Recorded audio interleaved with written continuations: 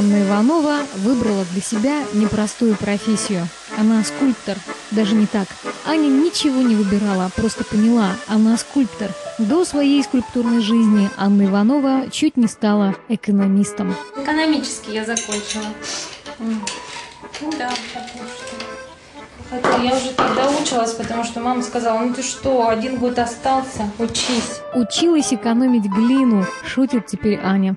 Художественно-промышленный институт поступила сразу после экономического факультета. И вот оно то, чего всю жизнь хотелось, о чем мечталось и грезилось. Творческая работа, своя мастерская, суровая обыденность, тяжелая точная ремесленная работа. У кого нет терпения, кто не может выдержать длительный физический труд, тот не годится для скульптуры. Она очень же много ну, работает.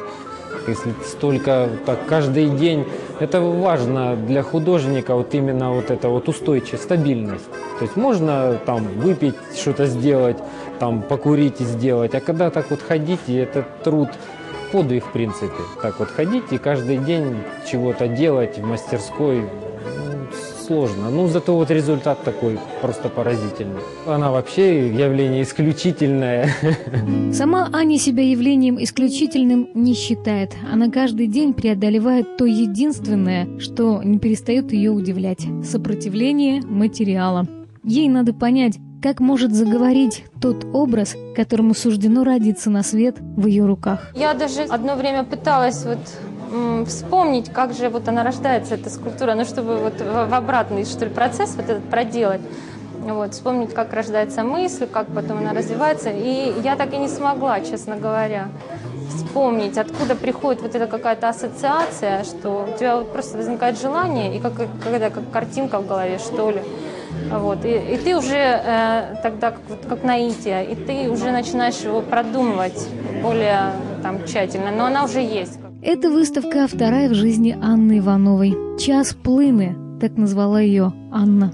В галерее очень много мужчин. Как дети, они радовались прикладным функциям Аниных скульптур. Крутили, стучали, удивлялись, потом носили на руках. Говорили о неповторимом художественном языке, об особой пластической природе ее скульптур. Песочные часы, то есть они как бы поворачиваются, работают, то есть можно э, крутить, там все должно функционировать, пока не ломаться. Удивительно, что такие крупные формы, причем не гламурные, антигламурные, создала девушка.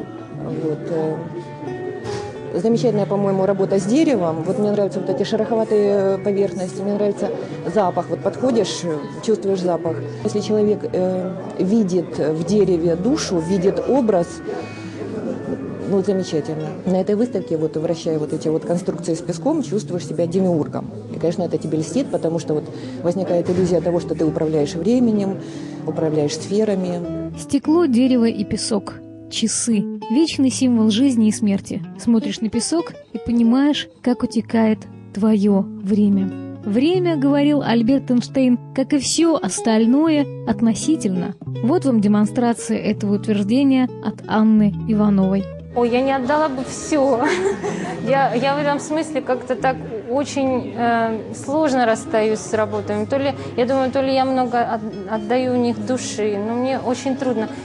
Ну, ну вот как проходит какое-то время, э, там лет пять, допустим, старые работы, как-то уже проще. Ты их как-то осознал уже, там, э, уже видишь там какие-то недостатки там, или дос, достоинства. Может, как-то они так уже меньше интересуют, волнуют.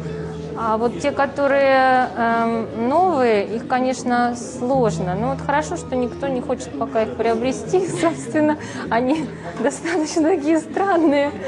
Скоро будет тепло, и Анна Иванова из своей маленькой мастерской переместится работать сюда, во двор. Будет пугать видом своей пилы соседей близлежащих домов. А пока Анна собирает образы для будущих арт-объектов. Простая пружинная сетка, которую она нашла на улице, вдохновила ее на новую работу. Я ее увидела, она просто очень красивая какая-то была. Хотя там а, была, были еще какие-то там предметы, но она просто была э, необыкновенной красоты. Вот, и я ее решила э, затащить в мастерскую и потом использовать для скульптуры. Здесь, в мастерской Анны Ивановой, живет ее величество форма. Здесь можно творить ту реальность, которую не встретишь за окном, но именно она и оказывается потом самой прочной, самой долговечной материей, материей жизни.